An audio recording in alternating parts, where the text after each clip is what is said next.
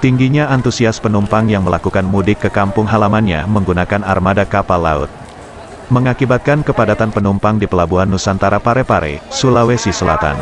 Penumpang yang berasal dari berbagai daerah di Pulau Kalimantan, seperti Samarinda, Balikpapan, Tarakan, Nunukan, serta Bontang, turun di Pelabuhan Nusantara Parepare untuk melanjutkan perjalanan darat ke daerahnya masing-masing di Sulsel.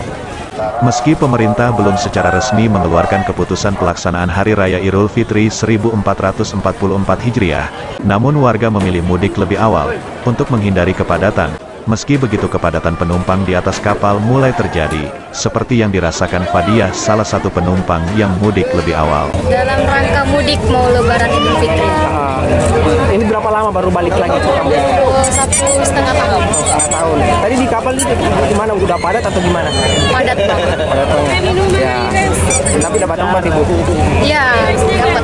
Ah, kenapa ini menghindari kepadatan namun sudah dapat kepadatan di kapal ya? Iya, menghindari tapi tetap dapat.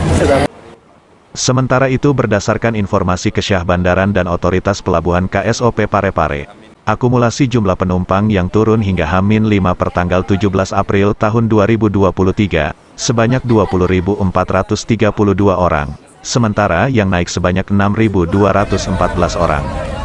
Berbeda pada tahun 2022 lalu, penumpang yang turun pada Hamin 5 sebanyak 12.346 orang dan yang naik hanya 4.043 orang. Diprediksi puncak arus mudik terjadi di Pelabuhan Nusantara Parepare pada Jumat dini hari nanti atau Hamin 1 jelang Hari Raya Idul Fitri 1444 Hijriah. Dikabarkan masih ada tiga kapal yang akan merapat di Pelabuhan Nusantara Parepare dari Pulau Kalimantan yang membawa ribuan penumpang.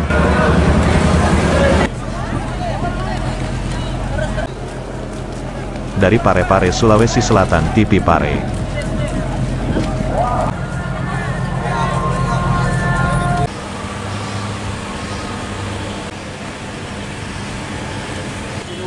there.